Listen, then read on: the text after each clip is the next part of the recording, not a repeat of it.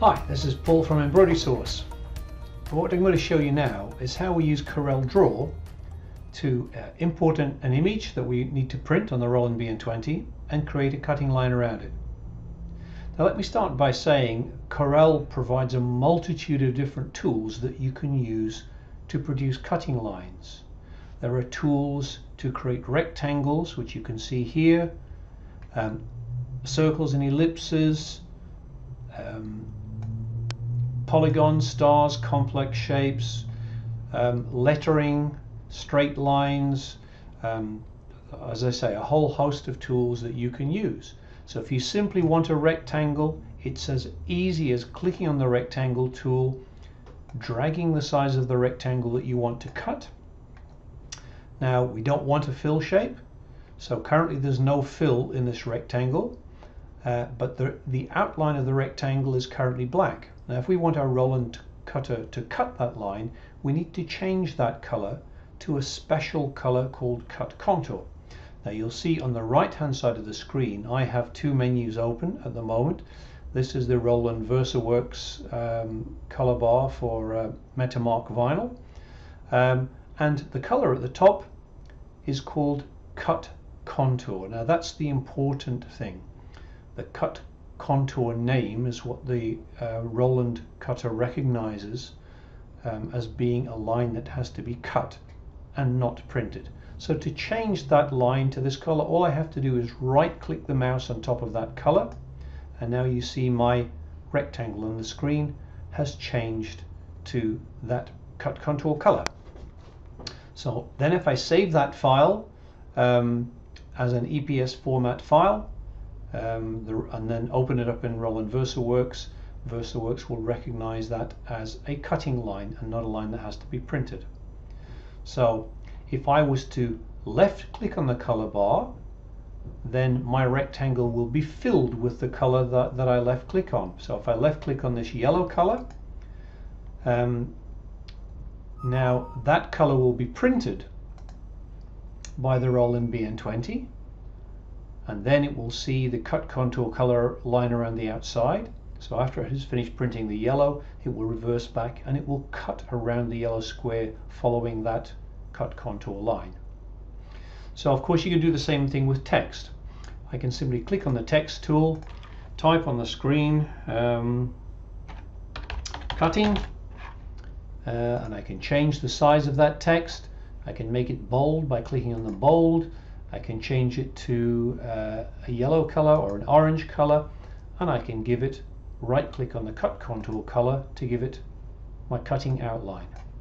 If you just want to cut without color, take away the color by left clicking in the cross at the top of the color bar. Left clicking the cross will take away the colored fill and right clicking on the cross will take away the colored cut line. So at the moment, if I, if I send that out to the Roland BN20, it will simply cut the vinyl, but nothing will be printed. Put the fill back, and then to send it or to save the file for the Roland, I simply go to the File menu, and I select Export, and I choose as the Save As type, I'm going to choose uh, the Save As type, I'm going to change that from PNG I'm going to change that to a format called EPS, which is Encapsulated PostScript. Now you may have to scroll down the list until you find EPS. You can see it here again. Um, so EPS is what we want. We give our file a name. I'm going to call it test. Um, oop, I accidentally changed my format. I'm going to call the file test and save it to the desktop of my computer when I click export, this next bit is important.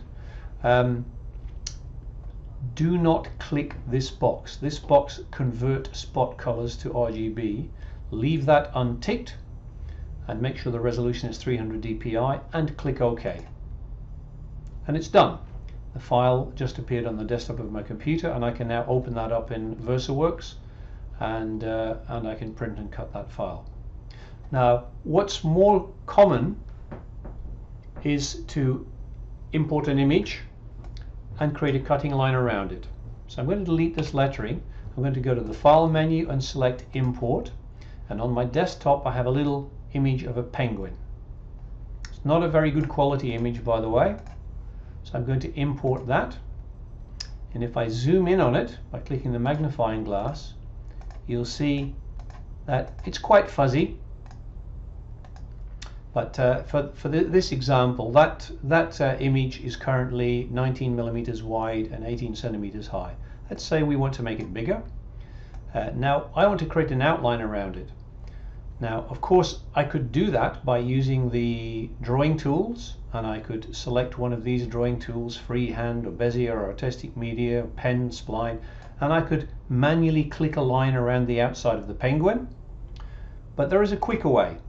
I can very quickly convert that image to contours by right clicking, go to quick trace Corel will almost instantly create a vectorized version of that on top and I can left click and drag it to one side so you can see what I'm talking about. Now what it's done is uh, it has created a white background because you can't see that most bitmap images have a white square rectangle behind them. So when I vectorized this image a white square rectangle was also created um, around the penguin. So I have to select that and I go to the arrange menu and select ungroup. And now I can click on the white area and delete it. Okay? And now the easy way to get an outline is to select all of those objects, go to the arrange menu, select shaping and boundary and Corel instantly draws an outline around my penguin.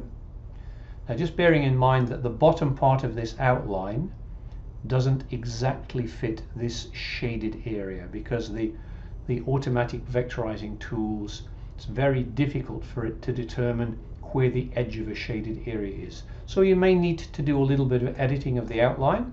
Don't forget, before you can cut that, we, we can get rid of this shape now we don't need it. Select it and delete.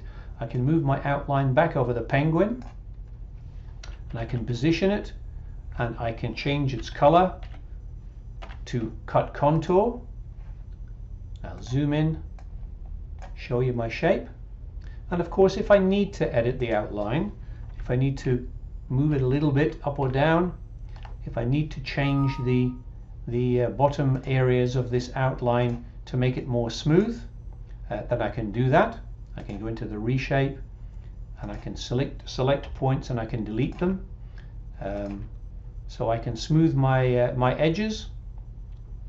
So uh, you pretty much do what you need to do to get the outline correct. And then when you're ready, same as before, we go to the File menu and we export as an EPS file. We'll call it Penguin. Oops, I've used capital there, doesn't matter. Um, and we select export and don't tick the convert spot to colors, leave it as 300 dpi and click OK. And your image will be exported with the cutting line around it and you can open those up in VersaWorks and then get VersaWorks to repeat um, that cutting as many times as you like. Okay, thanks for your time. See you in the next video.